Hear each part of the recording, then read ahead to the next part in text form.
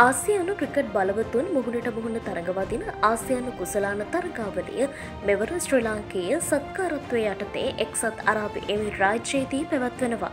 මෙවර තරගාවලියේ සුපිරි හත්තර තරඟවටය මේ වන විට ආරම්භ වී ඇති අතර මෙවන විට තරගාවලිය දැඩි උණුසුම් මුහුණුවරක්ගෙන තිබෙනවා.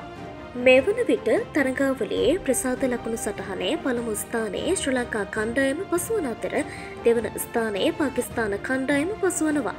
ශ්‍රී ලංකා කණ්ඩායම අෆ්ගනිස්ථාන කණ්ඩායම් පරාජයට පත් කරත්තේ පාකිස්ථානය වෙසෙන් ඉන්දියාව පරාජය කර මෙලසින් ප්‍රසාද ලකුණු සටහනේ ඉදිරියට පැමිණීමට සමත් වුණා. එය අනුව අද දිනේදී පැවැත්වන ශ්‍රී ලංකා ඉන්දයා තරගේ අතිශය තීරණාත්මක තරගයක් බවට පත්වී තිබෙනවා. එම තරගේ තීරණය මත ඉන්දිය කණ්ඩායමේ ආසියානු කුසලාන ඉදිරි ගමන් මග තීරණය වනු ඇති.